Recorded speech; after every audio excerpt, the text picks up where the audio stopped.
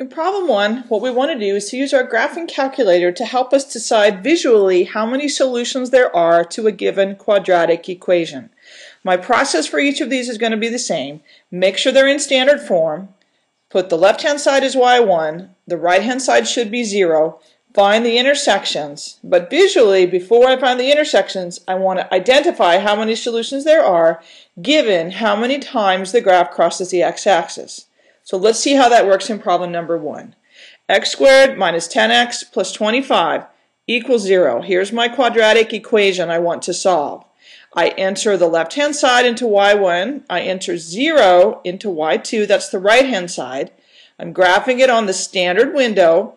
My graph is a parabola that opens up and it touches one time the x-axis. That means I'm going to have one repeated real solution to the given quadratic equation. I'd like to use the intersect process to find out what the solution is. Second, calc number 5, intersect, and then press enter three times to get to the intersection, which is 5 comma 0. So what I've done in the white space at the right hand side is to identify that the graph intersects the x-axis at only the point 50. Therefore, the solution to the given quadratic equation is the repeated solution 5, comma 5. Note this is a list of two solutions, not an ordered pair. So we can either say there's two solutions or one repeated. It's kind of the same thing, but one repeated gives you a little bit more information. In your white space, I'd like you to draw this graph, sketch it out, and to plot and label the point at which the graph crosses the x-axis. For part B, I'm going to make sure the equation is in standard form, which it is. It's set equal to 0. Enter y1 and y2 for my left-hand side and my right-hand side. And here I have the graph of the parabola. It crosses the x-axis twice. I'm going to plot these points, find the intersections, and then identify the x values of those intersections as solutions to the given equation. I'm going to run through my intersection process and see which of my intersections my graph gives me. Depends on where I start with my cursor. Yours might be on the other side.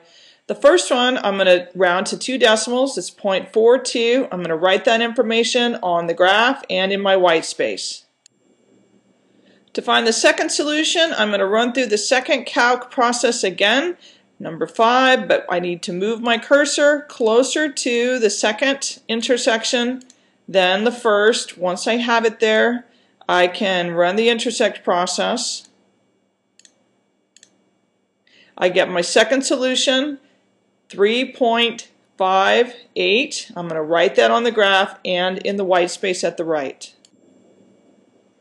So at the right hand side I have one solution as 0.42, the other is 3.58. I write them together as a list with a comma in between. Note this is a list of solutions, not an ordered pair.